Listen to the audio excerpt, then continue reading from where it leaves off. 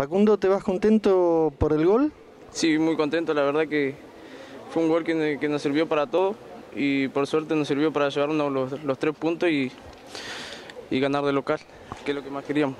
¿Con el equipo eh, te vas conforme también o en el segundo tiempo sufrieron más de lo esperado?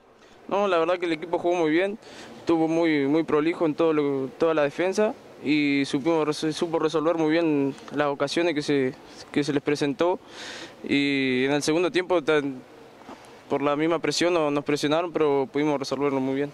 Esa presión le, lo llevó a perder la pelota, la eh, perdían muy rápido, por eso eh, quizás eh, estaba un poco intranquila la defensa.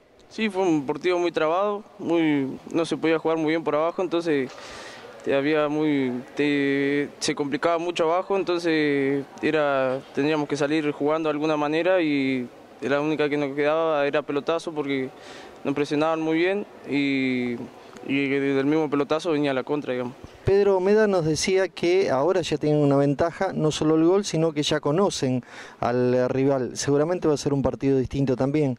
Sí, la vuelta va a ser un partido muy distinto.